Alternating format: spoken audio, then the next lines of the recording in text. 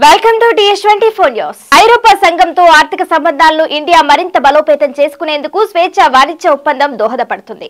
దాని ఖరారు చేసుకునేందుకు ఢిల్లీ ఎంత మాత్రమూ తొందరపడటం లేదు. భారత పాడి పరిశ్రమతో పాటు కొన్ని కీలక రంగాలపై ప్రతికూల ప్రభావం పడేలా ఈయూ పలు ప్రతిపాదనలు చేయడమే అందుకు కారణం. ప్రపంచ ఆర్థిక వేదికపై ప్రస్తుతం ఇండియా ఈయూ రెండు బలమైన శక్తులు. తమ మధ్య వాణిజ్య కార్యకలాపాలను బలోపేతం చేసుకోవాలన్న లక్ష్యంతో రెండు వేల ఏడులోనే స్వేచ్ఛ వాణిజ్య ఒప్పందం చర్చలను అవి ప్రారంభించాయి.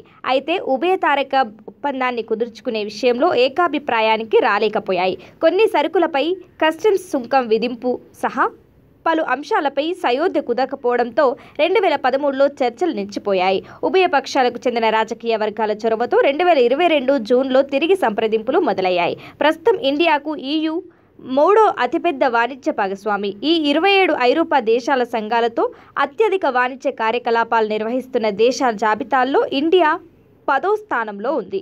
ఈయూ నుంచి దిగుమతి చేసుకుంటున్న ఉత్పత్తుల విలువ కంటే అక్కడికి భారత్ ఎగుమతి చేస్తున్న సరుకుల విలువే ఎక్కువగా ఉండటం ఆసక్తికర అంశం. కేవలం వాణిజ్య కార్యకలాపాలకే పరిమితం కాకుండా సమగ్ర ఆర్థిక భాగస్వామ్య ఒప్పందం కుదుర్చుకోవాలని ఇండియా ఈయూ భావిస్తున్నాయి. ఇందులో భాగంగా పెట్టుబడుల పరిరక్షణ భౌగోళిక సూచనలకు సంబంధించిన ఒప్పందాలపైన దృష్టి పెట్టాయి. వీటిపై నాలుగో విడత చర్యలు బ్రసెల్స్లో గత నెలలో పూర్తయ్యాయి. తదుపరి దఫా సంప్రదింపులు జూన్లో జరగనున్నాయి. కోవిడ్ విజృంభణ రష్యా ఉక్రెయిన్ యుద్ధం వల్ల ఇటీవలి కాలంలో ప్రపంచవ్యాప్తంగా కల్లోలగా సాంకేతిక రంగాల్లో ఇండియా మెరుగ్గా పురోగమించింది. మన దేశంలో వినియోగదారుల సంఖ్య ఎక్కువగా ఉండటం ఢిల్లీ అనుసరిస్తున్న అలీన విధానం ఈయును ఆకర్షిస్తున్నాయి. అందుకే మన దేశాన్ని తమ ప్రధాన వ్యూహాత్మక వాణిజ్య భాగస్వాముల్లో ఒకటిగా చేసుకోవాలని ఈయు అభిలాషిస్తుంది.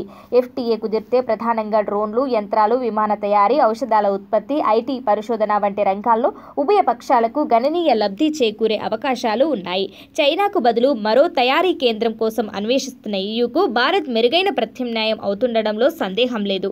ఇక వచ్చే పదేళ్ళలో పెద్ద సంఖ్యలో వాణిజ్య విమానాలను కొనుగోలు చేయాలని ఇండియా భావిస్తుంది. స్థానికంగా విమానాల తయారీకి ఇది సరైన తరుణం.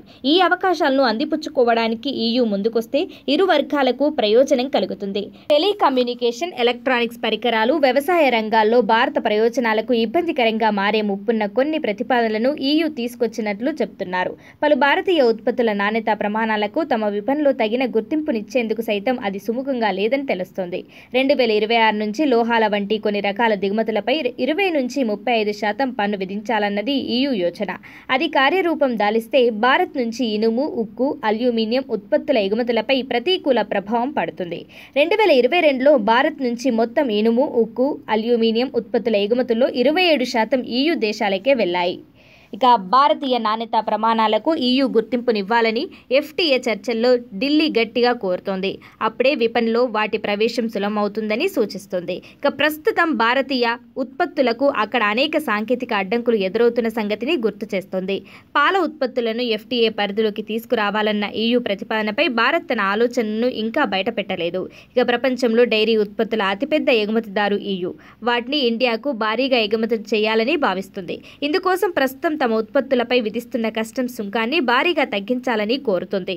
ఈయు నుంచి పాల ఉత్పత్తులు పోటెత్తితే దేశీయంగా రైతులు పాడి పరిశ్రమకు నష్టం వాటిల్లే ముప్పుండటంతో ఢిల్లీ ఆచితూచి వ్యవహరిస్తుంది. ఈయూలోకి భారతీయ నిపుణులు విద్యార్థులు ప్రవేశం మేధా హక్కుల వంటి అంశాల్లోనూ ఉభయ పక్షాల మధ్య ఇంకా పూర్తిస్థాయి ఏకాభిప్రాయం కుదరలేదు.